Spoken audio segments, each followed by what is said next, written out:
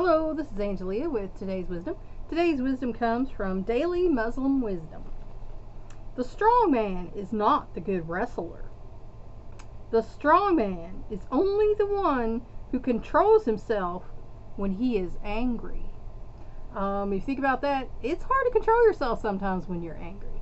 Um, but if you can stop, take a step back, or count to 10, whatever, you know, works for you, and then go from there, that is a strength, you know, because your first impulse, you know, that fight or flight impulse kicks in when you're angry, uh, and you want to retaliate or act out or whatever you want to do. So, you know, strength also can be about control. And that's by the Prophet Muhammad from Sayings of Muhammad by Professor Ghazi Ahmad. Think about it. Please like and share this wisdom so we can spread it around the world. Um, if you want to help me out, subscribe to my YouTube channel. If you want to help me out even more, go to my Patreon page and become a patron.